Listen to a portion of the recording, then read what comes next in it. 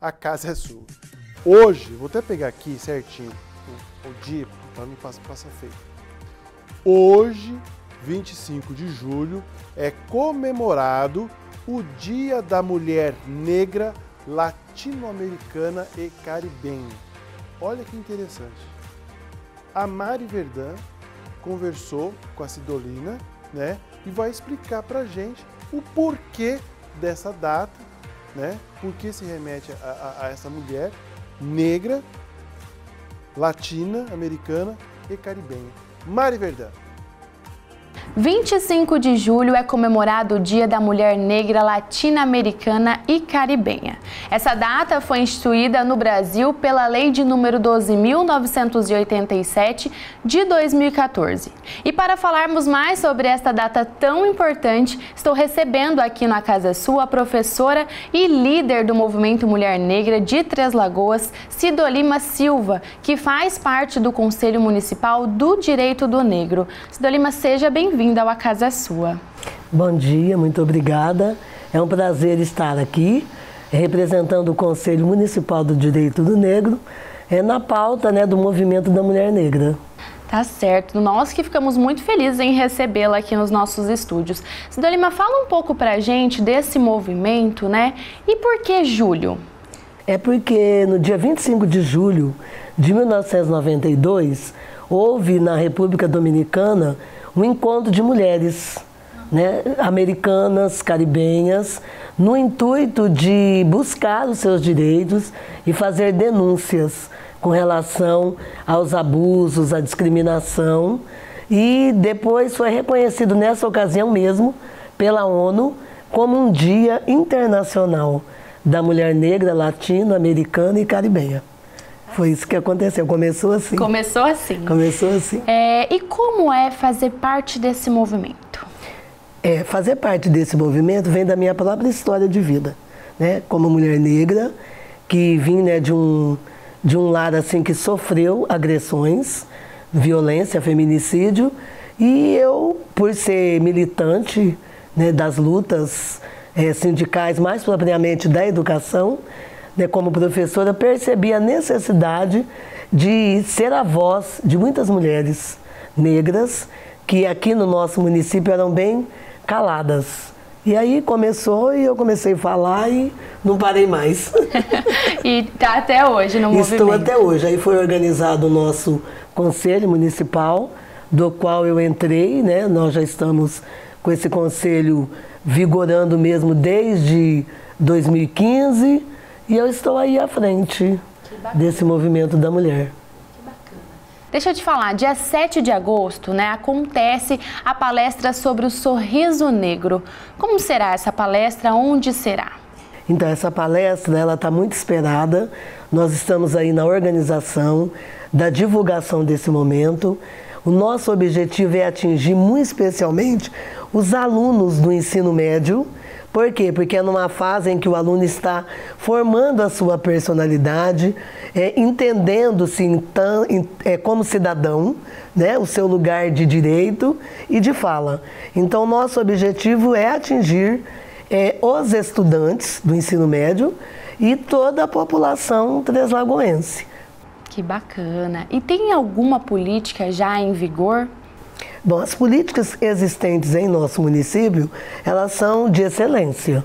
Porque nós temos, através da assistência social, os CREAS, né, da nossa cidade, os CRASES, que dão uma assistência de uma forma bem de perto a todas as mulheres, muito especialmente as mulheres negras, que é a maioria da nossa população. Então existe uma política, sim, de acompanhamento, de orientação, é, e de também de ajuda né, a essas mulheres que estão numa situação de vulnerabilidade, numa condição social de mais frágil, mais fragilizadas, desfavoráveis e até agora aí o mês, né, agosto lilás, do qual a gente também vai estar junto, né, para poder acompanhar mais de perto, de uma forma particular, a questão da mulher negra.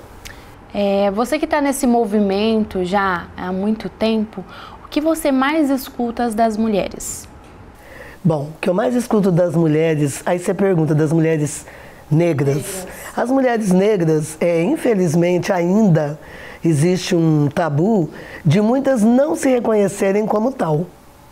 Se a pessoa tem a um pouquinho, é, digamos, morena, ela já não se coloca dentro dessa identidade de mulher preta ou negra.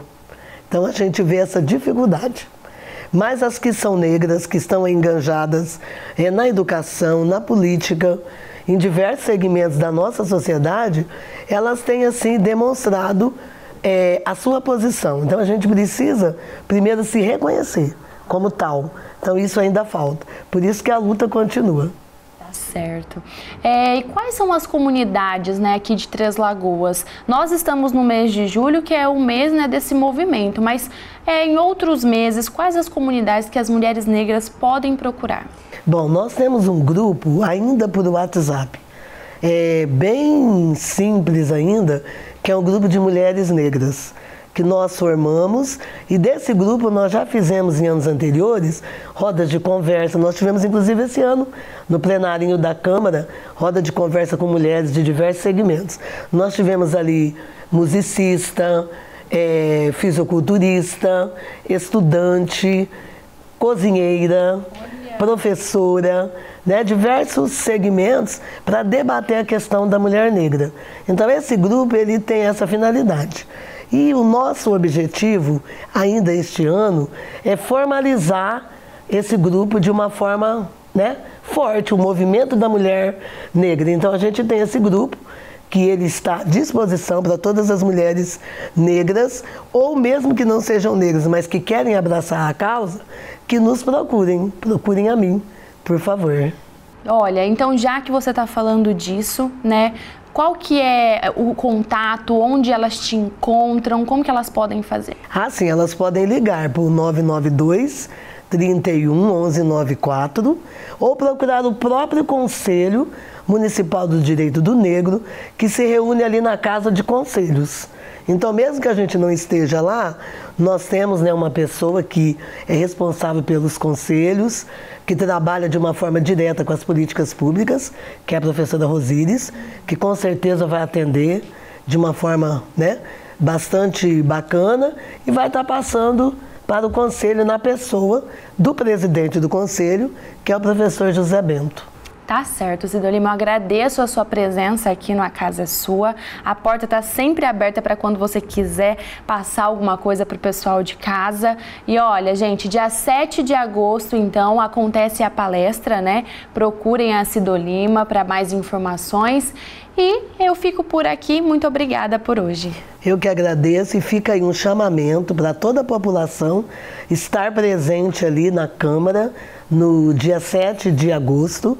Será às 19 horas esse evento, ali na Câmara Municipal. Está aberto a toda a comunidade. A pessoa que vem, uma pessoa bastante eficiente, com uma fala bastante fácil, acessível, suave, mas de um chamamento para que todas as mulheres pretas busquem o seu lugar de fala, de direito, falem, procurem estudar, trabalhar, se envolver, que é isso daí. Muito obrigada, Sidolime. Parabéns por participar, né, fazer parte desse movimento. Voltamos aos estúdios já já, mas não sai daí que Israel Espíndola e eu temos mais informações.